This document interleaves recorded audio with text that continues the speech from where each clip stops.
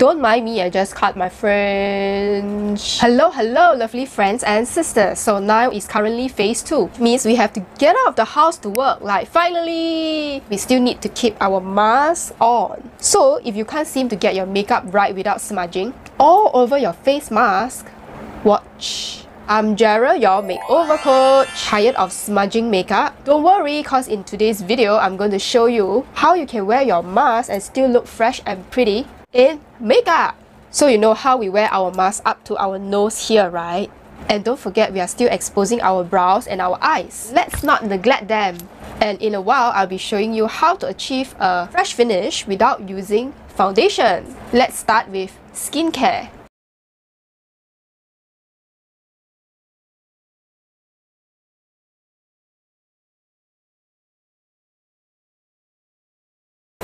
So after washing my face, I'm starting with this Poreless Power Liquid that I got recently. this one is by COSRX. This is like a mild exfoliation lotion before I use it with my toner. I pump a few drops and I spread it all over my face. Make sure to cover every surface so that it can work its magic, I hope. Don't forget under your jaw and I pat it in. Remember to avoid the eye area. Normally, toner should come before lotion, but this toner is different. So I don't want it to get wiped off, I just want it to get absorbed into my skin. I use after the Poreless liquid. So this comes in a spray bottle and I just spray it. And I pat it in. So I make sure to cover the whole of my face. This is an amazing toner and I will share why in my next video. The Poreless and toner, I seal everything in with a water-based gel moisturizer. It's a really huge tub I cannot finish using and it's so light I'm just going to spam it on. Then I pat it in. Make sure to cover all areas of your face. So now we come to the last essential skincare step especially after using exfoliation product is your Sunscreen. This is a must because our skin is more fragile. If we apply exfoliation in the day, we definitely do not want the UV to damage our skin. This is by Dr. Psst, can I tell you a secret? I got this tube of sunscreen in the gym. I know this brand and therefore I became the new owner. That's why I love my gym. Hey, I never said I was perfect. Psst, psst. You can PM me which gym after the video. Nah, I'm just kidding. Let me know below if you have come across the same situation as me. Sunscreen. We apply it enough to cover the face. I'm going to emphasize more on this pigment that I have here because I don't want the sun to make it grow. Remember to do it on your forehead.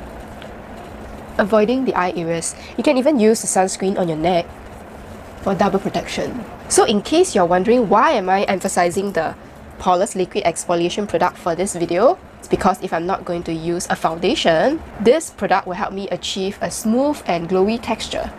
I really like this sunblock because it is not greasy, it color corrects and it's good for sensitive skin and it's 50 SPF full protection. Now you know why, right? We move on to makeup. So in order to achieve a smudge-free look while wearing a mask, I'm just going to use a concealer right now. No foundation. I'm just using my fingers to cover this pigment that I have here. You can even use your brush, something that looks like this, a fluffy brush, and then you kind of blend it by pressing it in gently. You want to avoid too much pressure and too much product because it will make you look less natural. So if I'm using my fingers, I'm just going to lightly dab it in and make sure that it is covered enough. Right now, I want to use the concealer and blend it on my eyes. I'm going to start from out to upwards and get closer. I don't have much, but you just need to cover what you need to cover, okay? The same for the other eye. If you're using a brush, you just kind of do this light tapping motion. If you have a lot of redness under your nose, use some concealer and lightly cover these areas, like here. You can even like swipe it lightly and blend. Note that the areas that I choose to conceal are the ones that come with the least contact when you wear your mask. If you feel like there's nothing to conceal, you can just skip some blusher to add color, I recommend a cream blush. I'll be using the NYX in Tea Rose. Using my fingers, I will just dab it very high up onto my cheek area so it can be seen above the mask.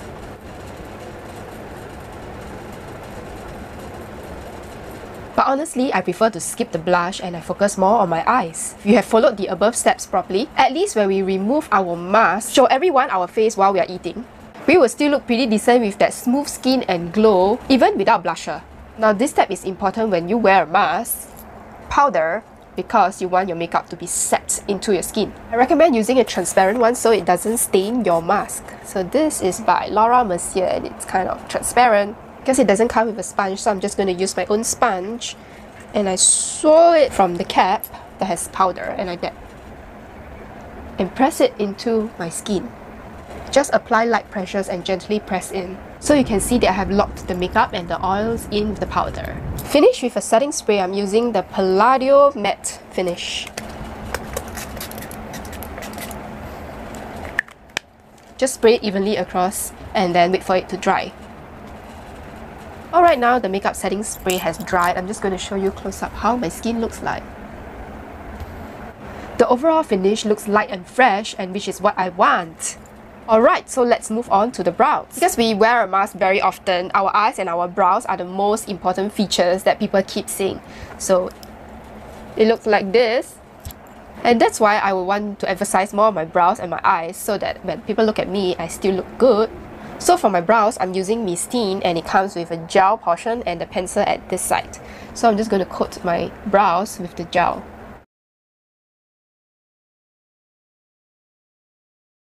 And I just comb it with a brush. Spread the color out evenly. And then I'm using this from It's Skin. It's a brow pencil which I have just sharpened and it is a little bit of a reddish brown color to fill in any gaps.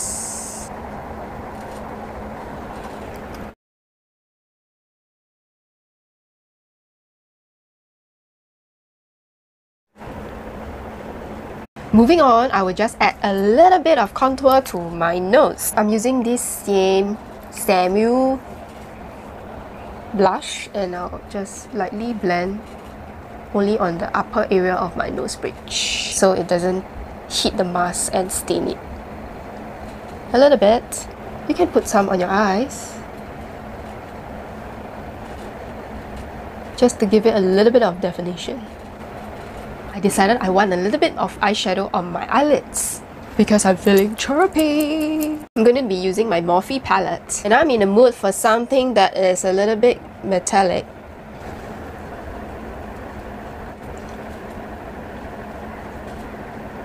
Further define it with another color. Just to tone it down. According to your mood, so if you don't want it too colorful, you can just stick to the basics. If you're feeling a little bit glittery, I have just put on some glitter. And I like to apply some eyeshadows on my lower lid.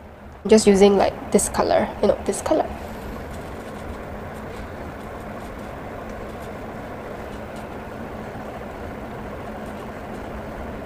Next, I'm using my gel eyeliner pot from Tony Moly. This is like a maroon reddish brick color. Open already, must finish using, right? If not, I keep opening new ones. I'm just going to apply the eyeliner at the end so that it looks like more natural. And I connect it to the top of my eyelid. So just focusing a little triangle.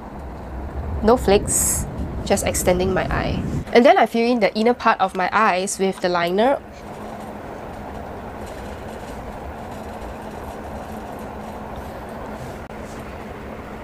It's like emphasized without the drama. Next I curl my lash. Moving on to mascara, I love this, Curl Fix by Etude House. This special curl ingredient that kind of lifts up my lash and curl it even further.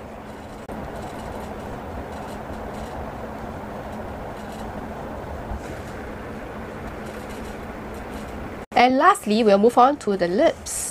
I love this because this is multifunctional. For one, the colors are amazing and it dries velvety matte, so it's not like too oily or too dry. And I'm just going to dab this on my lips. I don't like to put too much because whenever I remove the mask, I don't want to see my mask stained, especially if my mask is a cloth mask that I bought and it looks really pretty, so I do not want to dirty it. uh, just smudge it with my fingers. So if any of you want to skip the lip color, it's fine too. Just remember to put a lip balm so that your lips stay moisturized. Just in case, I'm just going to dab the lips on a piece of tissue paper. Removing any excess. And my smudge-free makeup is complete.